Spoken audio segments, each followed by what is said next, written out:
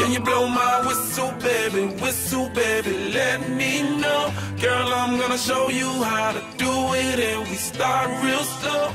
You just Squisite signore e gentili signori in visione all'ascolto, l'operatore di ripresa Luca Giulianelli e Umberto Maruzzi vi augurano il buon pomeriggio da un abbacchiato Gianni Siboni di eh, Piacenza dove tra alcuni istanti vi racconteremo il eh, settimo incontro per i bianconeri di questo campionato di Serie D Girone D.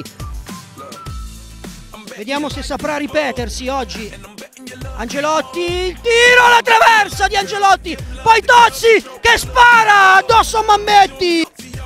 Calcio d'angolo, viene battuto basso, Jonathan Vita in anticipo sul primo palo. Fulcini, palla lunga, è incredibile il gol che si è mangiato Matteassi. Fulcini va a calciare e Sannino avversari, poi ritorna su di lui Pozzi, ma ancora Bugliani mette in mezzo, il colpo di testa ed è gol!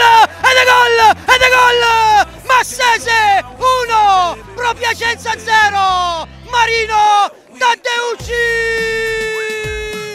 Al 46esimo del primo tempo di Taddeucci, adesso un lancio lungo per Taddeucci che fa il tiro da pochi passi, distanza da Jakimowski, Angelotti alla meglio, converge verso il centro, va il tiro, la palla rimbalza, interno destro, tocca Jakimowski, la palla è per eh, Bartolomei, poi ancora un calcio d'angolo. Numero 3 Pozzi che si avventura in un dribbling, poi va il tiro, la respinta di pugno di Sannino, poi Nicolini Nicolini, che serve per Vignotti.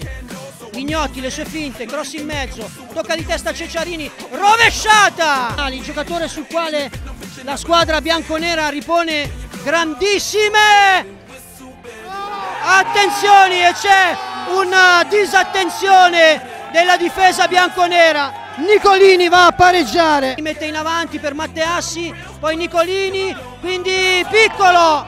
Eh, Cazzamalli lascia palla a Santi che supera Vignali. Santi entra in area. Santi che va al tiro. Sannino devia in angolo.